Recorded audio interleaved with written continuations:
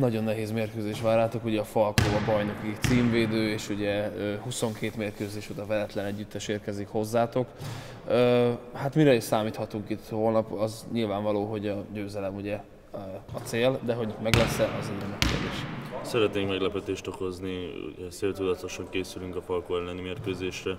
Nyilvánvaló, hogy egy nagyon erős csapatuk van, körülbelül 12 emberes rotációval tudnak dolgozni.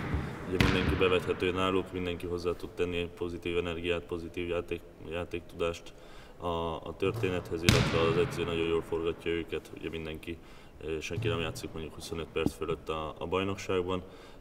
Nekünk a saját dolgainkkal kell foglalkoznunk, és megpróbálni azokat a kis részleteket véghez vinni, amiket a héten begyakoroltunk úgy gondolom, hogy ha ezeket sikerül céltudatosan véghez vinni, akkor, akkor természetesen van keresni valónk, és tényleg az a cél, hogy szeretnénk itt hazai közönség előtt meglepetést okozni. Azok a saját dolgok részletekről, azok mik lehetnek? Szeretnénk agresszívak lenni védekezésbe, szeretnénk, vannak kisebb taktikai dolgok, amiket szeretnénk véghez vinni, és erre fókuszálni, ebbe beletenni a lehető legtöbb energiát, amikből úgy gondolom, hogy majd meg kell próbálnunk eredményes, gyors támadásokat vezényelni. Ugye a hazai mérlegetek azért nem rossz, tehát ugye három győzelem meg volt már a négyből, és mindig tolt titeket a közönség, mindig jó formában vagytok.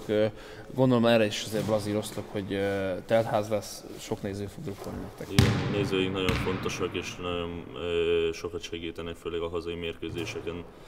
Igazi hatodik emberek a pályán tudnak plusz energiát adni a csapatnak, ki tudnak minket húzni az olyan hullámvölgyekből, amik esetlegesen vannak a mérkőzés során, úgyhogy természetesen nagyon számítunk a segítségükre, és reméljük, hogy újra telt ház lesz itt az Olán